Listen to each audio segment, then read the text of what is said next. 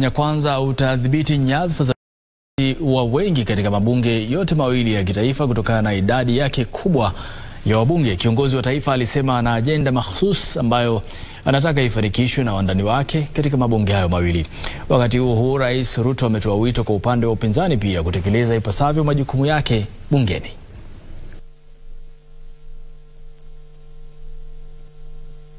Our housing plan, the plan that we were supposed to implement in 2018.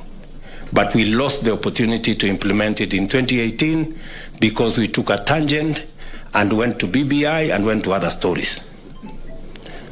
We, I want to promise you that this is one plan that is a must do for us. it will create millions of jobs for our young people.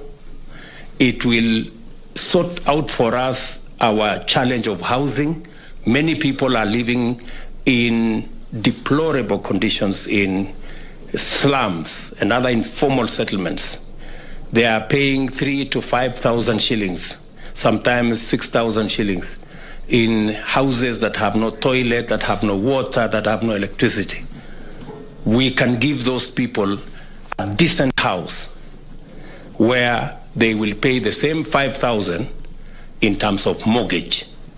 And we welcome our competitors' um, assertion that they will take seriously their oversight role over our government.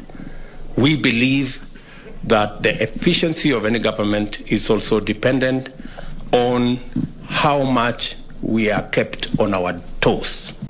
So uh, I want to tell our good friends on the other side of the political divide welcome to your oversight role.